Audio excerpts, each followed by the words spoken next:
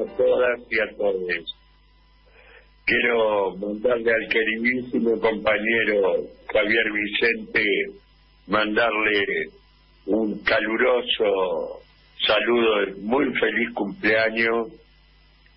Javier, un, un gran tipo, un gran ser humano, un gran profesional de la comunicación, al que todos queremos y honramos en Radio Rebel. Eh, claro, qué lindo esto de coincidir con el día que recuerda ni más ni menos que a don Arturo Jaureche, un forjador del pensamiento nacional. Creo que vale la pena decir alguna cosa. Cuando uno mira el oficialismo de la oligarquía, cambiemos pro, es, es el pensamiento que se gesta mirando a Europa, mirando a Estados Unidos, que tiene un profundo desprecio por lo nuestro. Estos locos que desde el fondo de la historia sintieron un profundo rechazo por el gaucho, por el indio, ¿eh? por el originario, por lo nuestro. Esos que se llevaban la vaca en el barco, ¿no? Esos que hoy son los adoradores de Milton Friedman, que desde que se da el golpe en, en Chile el 11 de septiembre de 1973, abrazaron esa causa, como que la oligarquía a partir de allí empezó a tener una teoría, una doctrina extranjerizante que plantea el ajuste estructural de la economía, la ausencia del Estado, la flexibilización de derechos de nuestro pueblo, el alineamiento automático con los Estados Unidos de América, que plantea la depreciación de nuestra moneda, el intervencionismo buitre financiero, que son portadores de grandes calamidades en defensa de sus riquezas, son un pequeño grupo que después influye en otros, porque convengamos que ellos han logrado tener un espacio de Argentina colonizada, de Argentina colonizada, una Argentina que desprecia lo propio y que se nutre del borrego que se cree vivo y que es aspiracional, el pelotudo de, de algún sector de la clase media, pelotudo, pelotuda, pelotude, de algún sector de la clase media que ni siquiera tiene laburo, que vive en un departamentito de 50 metros, que come salteado, que anda con la sube y que va agarroneando ayuda donde puede pero a la hora de intervenir en política, a esa hora quiere ser como Macri. Hay una Argentina oligarca y hay una Argentina aspiracional de oligarca.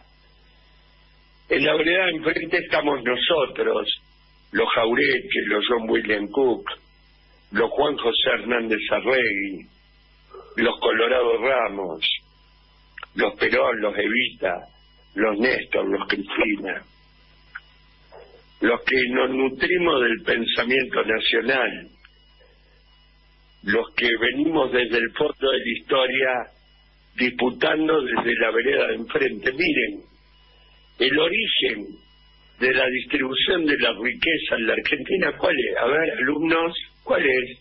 La tierra, mis amigos. En 1857 ya discutían en los diarios de Buenos Aires Domingo Faustino Sarmiento y el general Roca de cómo debía ser la distribución de la tierra. Ninguno de los dos era del campo nacional y popular. Aunque debemos admitir que Sarmiento más allá de sus barbaridades y su desprecio por el gaucho, aportaba en el debate algunas cosas interesantes. Esto me lo hizo ver alguna vez la doctora Adriana Puigros. Roca decía latifundios para los ricos, para los jefes del ejército de la campaña libertadora, para los ganadores de caseros. Y Sarmiento, ya en 1857, decía, no muchachos, todo lo contrario. Hay que hacer granjas. Después agregaba alguna que otra pelotudez, decía, hay que traer granjeros blancos de Europa, de Estados Unidos, porque el gaucho no sirve para una mierda. Esa hoja de Sarmiento hay que arrancarla y tirarla a la basura. Pero Sarmiento tenía razón cuando decía, no hay que hacer latifundios, hay que hacer granjas. Latifundio grabó y Sarmiento decía lo mismo. Qué curioso, ¿no? Qué curioso. Ayer nos quedamos todos consternados porque encogidos de hombros y preocupados. Los que más tenemos sentido nacional, popular, revolucionario, dijimos la gravedad de esta situación tiene que llevar a, comprometernos con los pobres y tiene que llevar a comprometernos eh, con fundamentalmente la estabilidad democrática porque hoy cualquier golpe que tenga la democracia conspira directamente contra los intereses populares.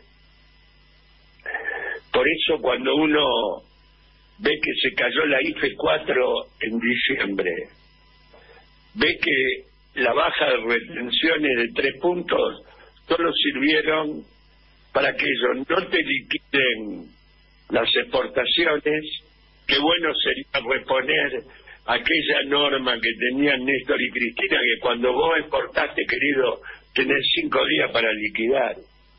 No ha llegado la hora de tener que hacerlo esto. Ahora, los tres puntos de baja en las retenciones, ¿para qué sirvió?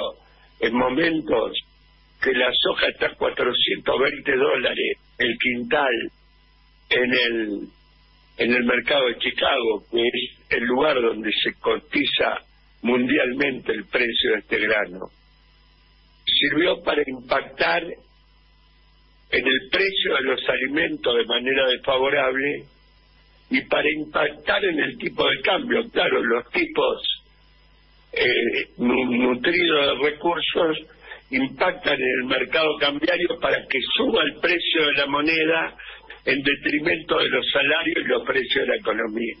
Uno maldito, una gente de mierda, unos sorete, hay que decirlo tal cual. Entonces los problemas son múltiples, diversos.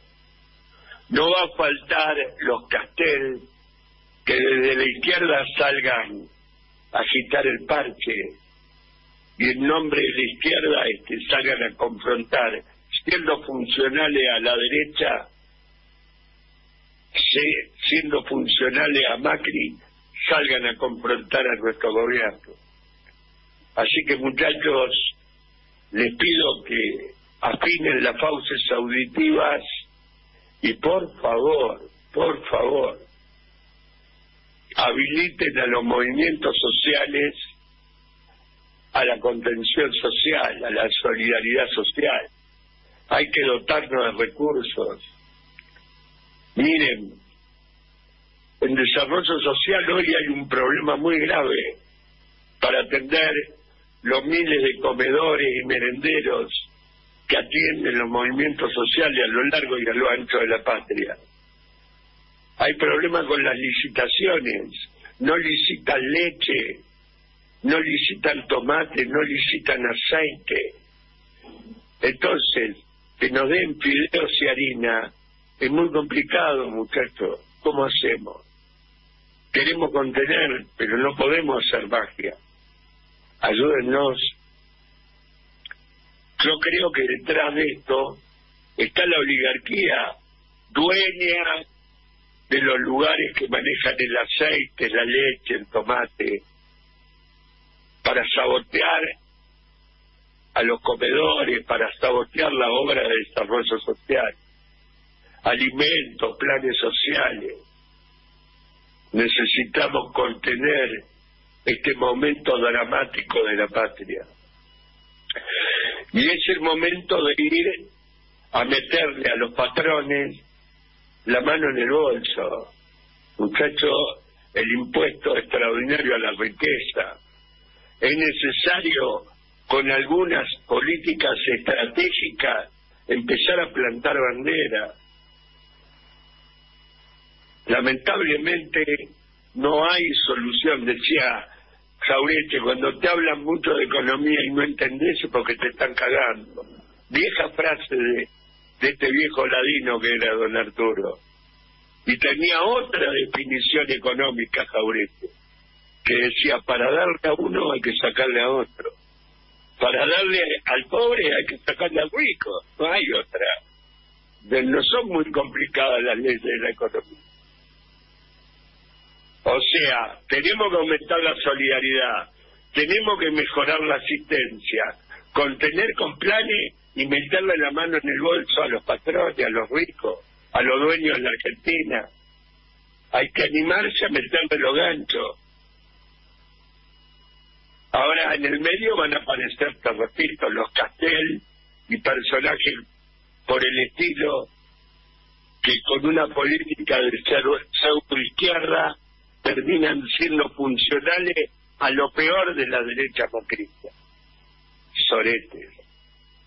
El problema son los patrones en este país, los dueños de la tierra, de la riqueza. 50.000 tipos, dueños de 185 millones de hectáreas. Está bien lo que hizo Graboy, que fue ahí a Entre Ríos. Pero incomparable con lo que alguna vez hicimos nosotros, y hicimos quien les habla, que nos fuimos a Corrientes a las 400.000 hectáreas de Douglas Tompkins, que solo tenía papeles de 60.000. Me fui con cuatro camiones del ejército argentino que cortaban la ruta 6 con su alambrado y su tranquera, y con los soldados le tiramos toda la mierda. Y a partir de allí se armó un tremendo debate en Corrientes. Ese debate que terminó con la, reforma de la Constitución correntina que dice que hoy sobre los esteros de Liberá y sobre el acuífero guaraní no puede haber extranjeros. Y Douglas Tompkins era un norteamericano que estaba a 400 kilómetros de la base norteamericana Mariscal Estigarribia en Paraguay. ¿Me entienden? Muchachos, nacionales o populares o neoliberales conservadores. Usted es elige. Lamento que haya argentinos de clase media que quieran ser como los patrones. Los aspiracionales, los forros, esos que perdieron la identidad en el camino. A eso quiero decirle que el problema son los patrones ¿Eh? en el Día del Pensamiento Nacional, qué mejor que escuchar a un artiguista como don Alfredo Citarrosa diciéndonos patrón, ¿eh? patrón, que tenga buen día, che, y que Javi termine, termine bien su día y le mando desde acá un gran abrazo.